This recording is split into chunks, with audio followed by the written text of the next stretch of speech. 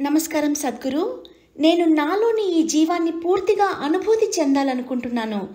కాబట్టి నేను ప్రతిరోజు చేసే క్రియలతో పాటు అదనంగా ఇంకా ఏం చేయాలి? నేను ఈ అనుభూతిని గరిష్ట స్థాయికి చేర్చాలనుకుంటున్నాను. మీరు చెబుతున్న ఆ జీవం మాయాజాలాన్ని అనుభూతి చెందాలనుకుంటున్నాను. ధన్యవాదాలు. మీరు జీవించాలి. మరి జీవించడం అంటే ఏమిటి? విచ్చలవిడిగా జీవించడం కాదు స్పృహతో జీవించడం. ప్రజలకు జీవించడం అంటే వాళ్ళు విచ్చలవిడిగా జీవించాలనుకుంటారు. ప్రతిరోజు పార్టీ.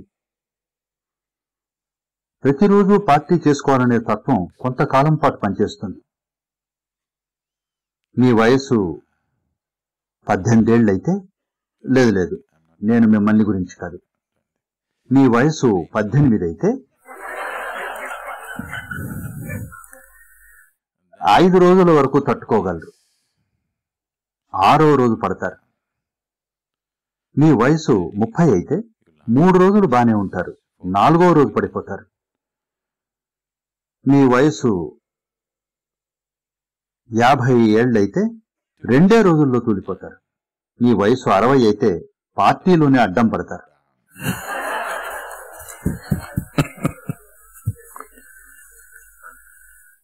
కాబట్టి నేను పార్టీలకు వ్యతిరేకం కాదు. అది ప్రాక్టికల్ కాదు అంతే.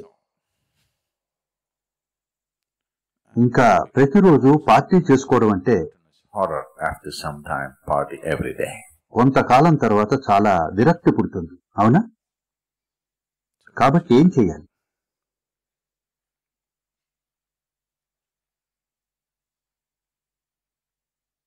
క్రియ అనేది కేవలం ఒక ప్రేరకం లాంటిది. దానికి అంతిమం కాదు.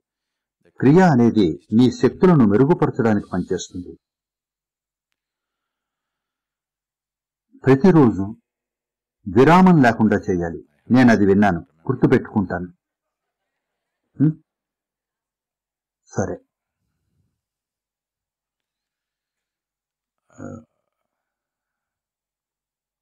క్రియ అనేది వివిధ పార్శ్వాల్లో పనిచేస్తుంది. మేము కార్యక్రమంలో దాన్ని బోధించేటప్పుడు ప్రారంభ దశలో ఉన్న వారి భద్రతను దృష్టిలో పెట్టుకుంటాం. అక్కడ భద్రతకు సంబంధించిన అంశం ఎప్పుడు ఉంటుంది. మీరు ఎవరినైనా చెట్టు ఎక్కించదలుచుకుంటే అది ఐదేళ్ళ పిల్లవాడైతే ఇంతెత్తు వరకు పదేళ్ళ పిల్లవాడైతే అక్కడ వరకు అనుమతిస్తారు. భద్రత అంశం అనేది ఉంటుంది. కాబట్టి దానిని ఒక నిర్దిష్టమైన విధానంలో బోధిస్తారు. మీరు ఆ పార్శ్వాన్ని పూర్తిగా చేరుకున్నప్పుడు దానికి కొంత సమయం పడుతుంది. కొంతమంది త్వరగా చేరుకుంటారు. కొంతమందికి అది జీవితకాలం పడుతుంది. దానికున్న సంభావ్యత కేవలం ఆ పార్శ్వానికే పరిమితం. ఇంకా ఇది అంతర్లీనంగా ఉండే వ్యవస్థ. అది నిర్దిష్ట కాలంలో మీరు క్రియ పూర్తి లోతుపాతులను అన్వేషించి అక్కడ స్థిరంగా ఉన్నప్పుడు దానంతట అదే కొత్త అవకాశాలను కల్పిస్తుంది. అది ఆ విధంగా రూపొందించబడింది. ఆ సాఫ్ట్వేర్ అలా రూపొందించబడింది. ఒక్కో మెట్టుగా అది మిమ్మల్ని ఒక నిర్దిష్టమైన స్థానంలో కొంత సమయం పాటు ఉంచుతుంది. మీ భౌతిక మానసిక స్థితి స్థిరంగా ఉన్నప్పుడు అది మిమ్మల్ని తరువాతి స్థాయి తీక్షణతకు చేరుస్తుంది. ఈ ప్రక్రియ సహజంగా దానంతట అదే వ్యక్తమయ్యే వరకు మీరు వేచి ఉండొద్దు అనుకుంటే అప్పుడు ఏడాదికోసారి లేదా రెండుసార్లు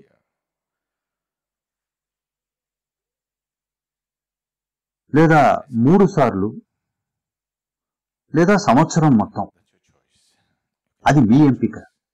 సాధన కోసం మీరు ఒక సమయాన్ని కేటాయించండి. పూర్తిగా సాధన కోసమే.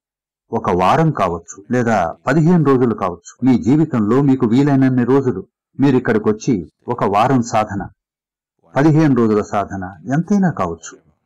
మీ జీవితానికి వీలైన విధంగా అలా చేసి చూడండి. మీకైతే నేను సంవత్సరానికి రెండు సార్లు అని చెప్తాను. పూర్తిగా సాధన సంవత్సరంలో కొన్ని రోజులు. కేవలం సాధన కోసమే. ఇంకా మరి దేనికి కాదు. ఉదయం సాధన సాయంత్రం సాధన కాదు. ఇరవై నాలుగు గంటల పాటు సాధన చేయాలి. కొద్ది కాలం పాటు. మీరిలా సమయాన్ని కేటాయిస్తే మీలో అది మరింత త్వరగా ఆవిష్కృతం అవుతుంది. సహజమైన వేగంతో అయ్యే బదులు మీరు దాన్ని వేగవంతం చేయొచ్చు. మీరు అది చెయ్యాలి. ఇంకా సాధారణంగానే భక్తి భావనతో ఉండడం అనేది మరింత అనువైన విధానం. ప్రతిరోజు ఇక్కడ ఇలా కూర్చుని వ్యాయామంలా చేస్తాను అని అలాంటి శపథాలు చేయొద్దు. నా చివరి రోజు వరకు నేను చేస్తాను అలాంటివి వద్దు. ఈ రోజు చేయండి. మీరు కేవలం ఒక రోజు కోసం ప్రయత్నిస్తారు. ఈ రోజు చేయండి. ఇదే మీకు ఆఖరి రోజు కావచ్చు. సాధ్యమేగా సాధ్యమా కాదా? అలా జరగాలని కోరుకోవట్లేదు కానీ సాధ్యం. కాబట్టి ఇది మీ ఆఖరి రోజు కావచ్చు ఇదే నా ఆఖరి రోజు కావచ్చు అనే విధంగా క్రియం చేయండి. మీరు మరింత వేగంగా వికసిస్తారు.